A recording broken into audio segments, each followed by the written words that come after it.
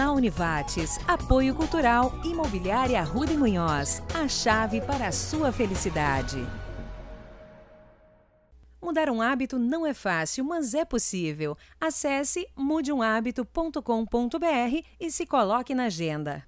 Nessa edição do Jornal do Univates, Mobilidade urbana é tema de audiência pública em Lajeado. Arroio do Meio inaugura novo espaço de cuidado em saúde mental. Campanha eleitoral é tema de encontro regional de legislativos municipais.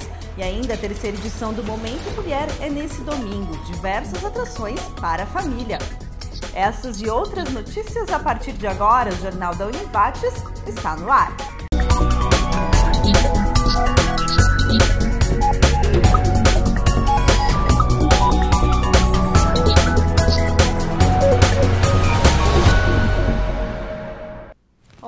Boa noite. Mobilidade urbana. Esse é o tema de audiência pública acontece logo mais a partir das 7 horas da noite na Câmara de Vereadores de Lajeado. Discussão importante para o futuro da cidade. Momento da comunidade participar e opinar na elaboração das diretrizes de planejamento. São 84 mil habitantes em Lajeado, além daqueles que passam diariamente pela cidade. Carros, pedestres, ciclistas, diferentes meios de locomoção que precisam estar integrados. Quando a gente fala em mobilidade, a gente não está falando de um meio de transporte específico. Não é só carro, não é só ônibus, não é só bicicleta ou caminhar. É fazer justamente a integração de todos esses modais de transporte que a gente tem e fazer com que eles conversem melhor. Então, o grande objetivo disso é fazer com que a gente consiga consiga se deslocar na cidade de uma maneira mais eficiente, uh, encontrar os pontos de as dores da cidade, né, onde a gente tem ali um problema que poderia ser solucionado. Mobilidade urbana, discutir o futuro da cidade. Plano começa a ser discutido em Lajeado. Em 2018, a prefeitura foi notificada pelo Ministério das Cidades a respeito de uma lei que todas as cidades acima de 20 mil habitantes precisam ter uma política de mobilidade urbana que é feita através do plano de mobilidade urbana. Então, a partir disso, nós montamos um termo de referência referência, realizamos uma licitação para contratar uma empresa que vai auxiliar a prefeitura então a fazer esse plano de mobilidade que começou então nessa semana.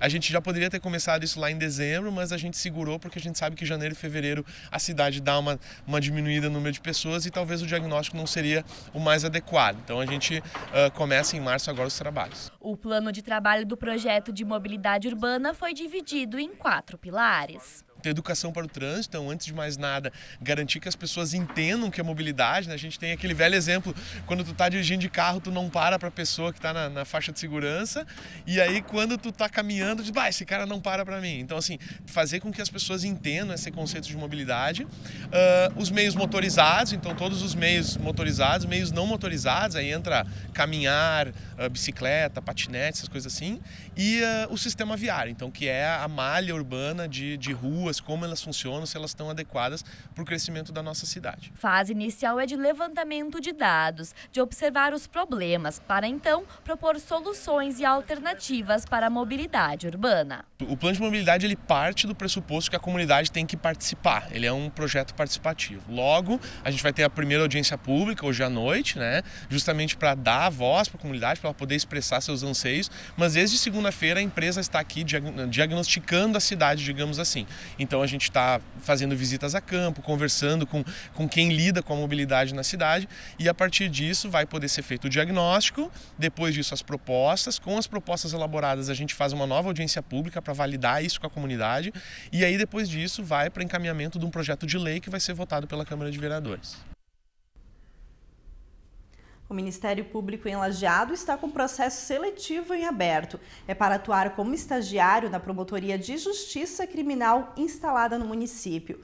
As matrículas podem ser feitas até amanhã no Ministério Público, que fica no bairro Moinhos. O atendimento ao público é das 8h30 ao meio-dia e da 1h30 às 6 da tarde. O certame é voltado a estudantes do curso superior em Direito a partir do quarto semestre. A carga horária do estágio é 30 horas semanais. Mais informações pelo telefone 51 3714 2729. E no próximo bloco, o Arroio do Meio inaugura espaço de cuidado em saúde mental.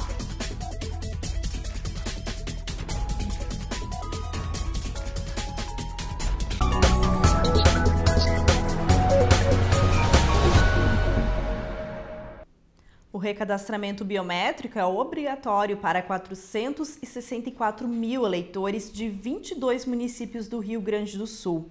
O prazo para fazer a biometria termina na próxima quarta-feira, dia 11 de março. Quem não se apresentar à Justiça Eleitoral durante esse período não vai poder votar nas eleições municipais de 2020 e vai ter o título de eleitor cancelado. Em Lajeado, 80% dos eleitores já fizeram o recadastramento. O horário de atendimento segue ampliado de segunda a sexta-feira, das 9 da manhã às 5 da tarde, sem fechar ao meio-dia, e no sábado, das 9 às 3 da tarde. São distribuídas apenas 250 senhas diárias para atendimento. O Comando Regional de Polícia Ostensiva do Vale do Taquari recebeu na tarde de ontem uma carta de intenções da empresa Marosal Logística, com sede em Triunfo. A empresa quer contribuir com o trabalho da polícia, doando um terreno e se responsabilizando pela construção de um novo prédio para a Brigada Militar, o que totaliza um investimento de cerca de um milhão de reais sendo 250 mil o valor do terreno e 750 mil o orçamento para a obra. Após a aprovação do projeto na Prefeitura, a previsão é de que a obra seja concluída ainda em 2020. A administração municipal de Arroio do Meio fez na manhã de hoje a entrega oficial da Casa Branca, novo espaço de cuidado em saúde mental do município. Em 2019, o local sediou de forma temporária o posto de saúde central durante as obras de ampliação e modernização do prédio original comunidade reunida, de mãos dadas para fazer uma oração, agradecer pelo novo espaço, local especializado no atendimento psicossocial, na saúde mental das pessoas. O Centro Municipal de Referência e Atendimento Psicossocial, ele é um CAPS modelo municipal. Tá? A gente vai oferecer aqui demandas na área da psicologia, psiquiatria, enfermagem, assistência social e oficinas terapêuticas, né? Fortalecimento de vínculo familiar e apoio a pacientes. De forma carinhosa, o centro foi nomeado de Casa Branca. Em Arroio do Meio, serviços psicológicos eram até então realizados em locais isolados. Agora está tudo reunido. Ele é um uma demanda que a comunidade já, já vinha tendo de mais anos, né? E que a gente vinha atendendo através da nossa rede. A gente tem uma rede integrada junto à Secretaria da Educação, CRAS e Secretaria Municipal da Saúde, aonde a gente trabalha com 13 grupos de oficina terapêutica, né? E já vinha realizando atendimentos psicológicos na educação, no CRAS e na saúde, né? E em parceria também com o ambulatório do hospital na parte da psiquiatria. Um destes grupos é onde a Gladys ajuda nas oficinas, artesanato para ajudar pacientes. E aí com isso tem a conversa, o acolhimento, a, a dedicação a elas também, que elas precisam. E aí, assim, a gente vai se encontrando, já faz, vai fazer cinco anos em junho que isso acontece. Agora foi ganhamos um espaço para nós, essa atividade acontecia junto ao posto de saúde. Uma troca, ajudar e ser ajudado, aprender com o outro. A Casa Branca agora é o local de referência no município para o auxílio psicossocial, concentrando todos os serviços. Muito interessante, é é uma acolhimento que a gente tem delas e que a gente, o que a gente ensina, a gente aprende de vida, de, de experiência, que a gente vai adquirindo a cada encontro com elas. Agora a gente ganhou um espaço fixo para nós, uma sala bem acolhedora, está maravilhoso. Os atendimentos eles se diluíam dentro da rede, né? nos cinco SFs, no posto de saúde do centro, na casa do museu, no CRAS e na educação. Hoje a gente tem um único lugar, né?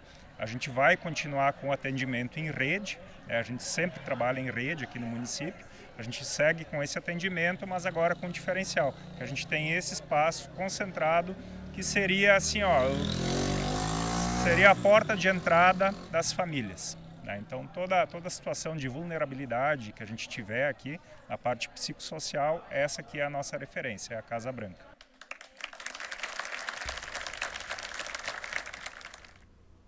E no próximo bloco, campanha eleitoral é tema de encontro regional de legislativos municipais.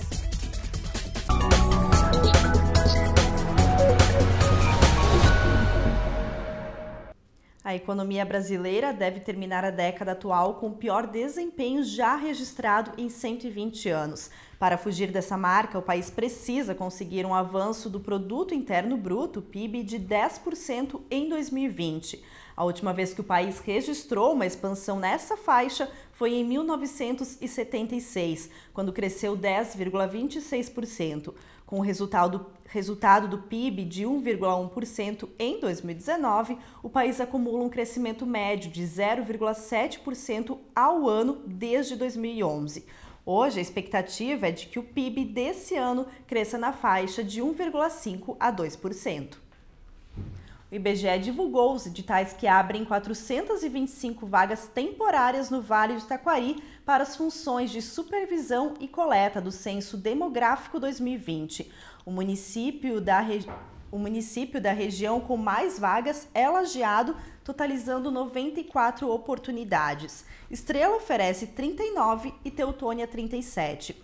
Os interessados precisam ter no mínimo 18 anos para se candidatar para as vagas. As inscrições podem ser feitas até o dia 24 desse mês. O encontro regional e anual dos representantes do povo no Legislativo acontece nesse fim de semana. A atividade faz parte da programação oficial da 8 Expo Roca e 11ª FECARPA.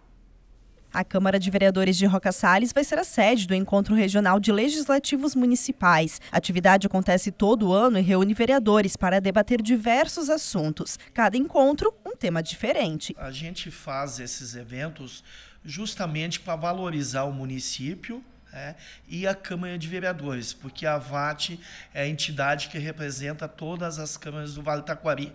Hoje estamos com 25 câmaras filiadas, então este ano a gente vai valorizar o município de Roca Salles, porque lá acontece a oitava Exporoca.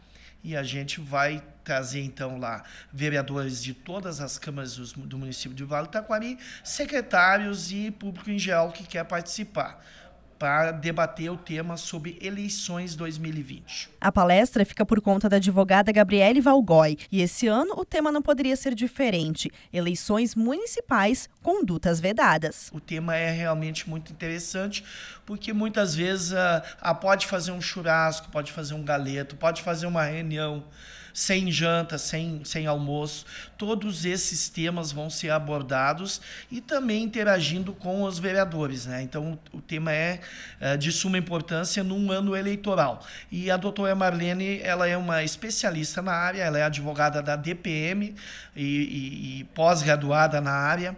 Então, vai ser um tema muito importante com alguém que entende do assunto. Então, é, é importante a participação, aqui faço um convite a todos os vereadores, futuros candidatos né, nesse pleito de 2020. O encontro é no sábado, dura três horas e busca qualificar o trabalho do Legislativo. Depois, os participantes vão poder visitar a feira que acontece até domingo no Centro Social Urbano de Roca Salles. O evento começa às 8h30 com o café da manhã, uh, que é oferecido pela, pela Câmara de Vereadores, e às 9 horas até às 11 uh, ah, vamos abordar o tema Eleições 2020, porque a cada eleição mudam as regras do jogo e a gente tem que estar uh, por dentro dele para poder participar de uma eleição e não vir a ter o seu mandato cassado ou ser multado.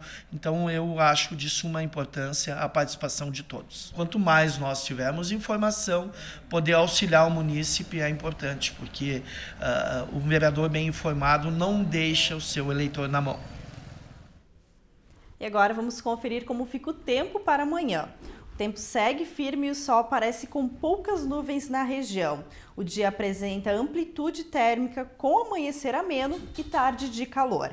Em Lajeado, as temperaturas ficam entre 17 e 31 graus. Em Antagorda, a mínima deve ser de 14 e a máxima de 29. Já em Pouso Novo, as marcas ficam entre 15 e 30 graus. E a seguir, terceira edição do Momento Mulher é nesse domingo. Nós já voltamos.